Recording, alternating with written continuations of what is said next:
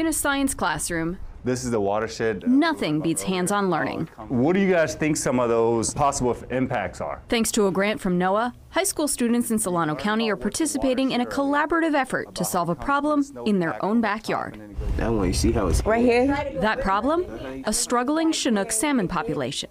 It's because a lot of salmon are dying off, so it's like it's messing up the ecosystem. Students here began working with this tank of fish in September, watching them hatch from eggs, and even naming them. Sammy, Farquaad, we got Diddy, and Puff. We come here every day, and uh, we observe them. And we observe them for five minutes.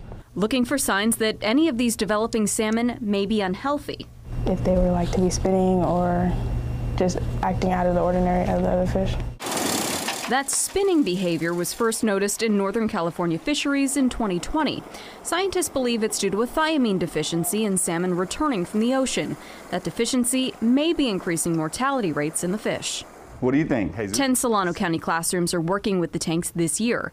Each has different levels of thiamine introduced. Students track the survival rate of their tanks and report numbers to a research team at UC Davis's Center for Watershed Science. each and every classroom gets paired directly with a member of the research team. changing the habitat from a Students ask questions and share observations with their research partners each week. A lot of those student questions actually end up being great fodder for conversations between the researchers. Building a relationship between established scientists and those who may see themselves as a scientist one day. I think it's actually pretty cool and pretty helpful for our environment to keep these salmon thriving. I want them to really see themselves as participating and contributing to authentic research. I think those shifts in identity are so powerful.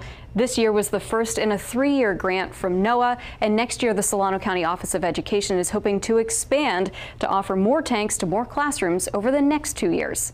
In Solano County, I'm meteorologist Heather Waldman for KCRA 3 News. What a great opportunity for those students. Salmon from those 10 Solano County classrooms will be released into the Nimbus Fish Hatchery next week, and then researchers with UC Davis and NOAA will continue to track their survival rates in the months ahead. And the students see themselves as the researchers they already Yeah, are. pretty empowering.